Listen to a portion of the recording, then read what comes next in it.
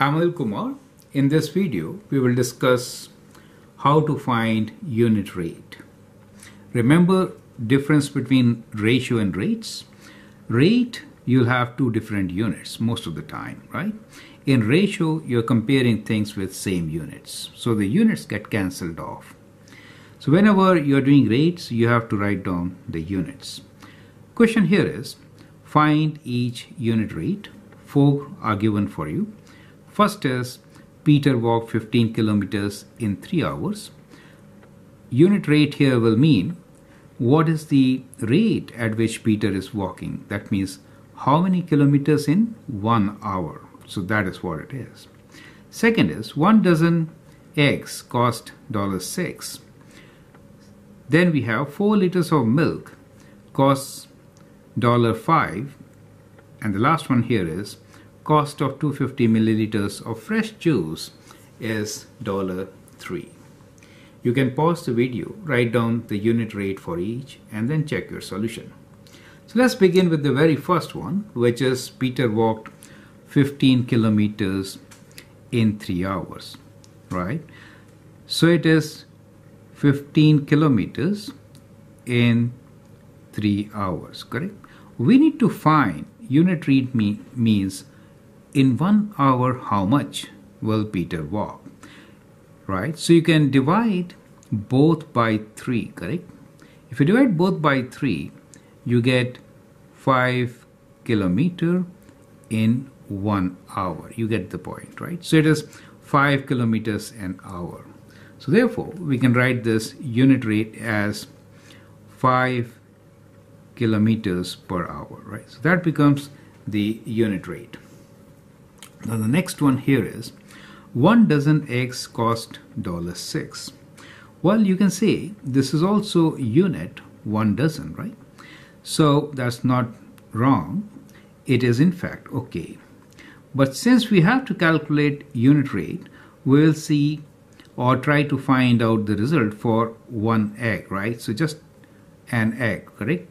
So one dozen means 12 eggs. So it is $6 for 12 eggs. To find the cost of 1, we'll divide 6 by 12, right? So if I divide 6 by 12, what do I get? We get 6 divided by 12 as equals to half, or in decimals, we get 0 0.5. We should write 5 0, since in money, dollars and cents, we should always write this in hundredth place, right? So that is what we get, and that is dollars per egg. So the unit rate here, that is cost of each egg, is 50 cents, which you could write as dollar 0.50 per egg. Next question is 4 liter of milk costs $5. So when we are talking about rate, we like to find how much will 1 liter cost? 4 liter of milk costs $5. 1 liter of milk will cost how much? $5 divided by 4, correct? So that becomes the unit rate. So let's divide 5 by 4. So we have 5 divided by 4 equals 2. In decimals, 1.25. So it is 1.25. As I said, whenever we're talking about rate, we have to always write down the units and therefore this should be written as dollar 1.25 per liter, right? So that is how we can write down the answer. The last one here is cost of 250 milliliter of fresh juice is dollar $3. Now you can do two things here you can find cost of 1 milliliter of juice. Well that could be done. That is also a unit. But better way will be to find cost of 1 liter. That unit right? That is more feasible better. You're not buying 1 milliliter of juice correct? So 1 liter is a better unit here. 1 liter actually is 4 times 250 milliliter. So cost of 1 milliliter or which is actually uh, 1000 milliliters. 1 liter, which is 1000 milliliters, correct? So what we know here is that the cost is $3 for 250 milliliters.